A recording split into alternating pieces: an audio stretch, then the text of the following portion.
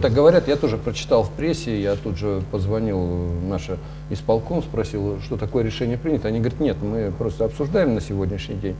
Э, Вообще много по этому поводу сегодня разговоров, особенно вот в случаях, когда идет действующий глава, э, ну ясно, что он имеет определенное уже сразу же преимущество. Да?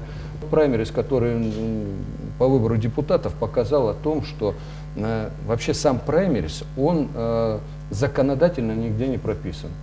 У нас нет требований и ограничений по праймерис. И на сегодняшний день э, огромное количество э, фальсификаций и нарушений идет. Ну, то есть, вот э, подвоз, это хорошо или нет?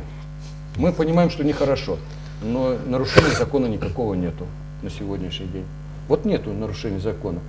А, Если, скажем, э, члены избирательной комиссии в этих бюллетнях проставят кому-то плюсики и прочее, это будет нарушение? Нет, это не является нарушением никаким. Ни по уставу партии, ни по закону и прочее. И все поняли о том, что вот есть некая недоработка сегодня. И э, кто побеждает? Вот субъекты, где прошли праймерисы вот на Государственную Думу, работали, конечно же, деньги очень большое. То есть, если у тебя есть деньги, ты можешь организовать подвоз, э, скупку голосов, э, раздачу там водки, продуктов и прочее. Это все законно. Это все законно. Тогда возникает, а что такое открытый праймерис? Тогда это конкуренция кошельков. Всего лишь навсего. Больше ничего.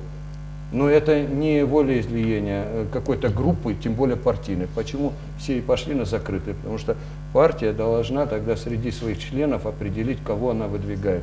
Ну, во всяком случае, мы же видим, в Америке проходит, там нету таких вот открытых, там партийное голосование. Поэтому давайте учиться те, кто уже очень давно занимается этим делом. У нас не принято, обсуждается также очень бурный вопрос.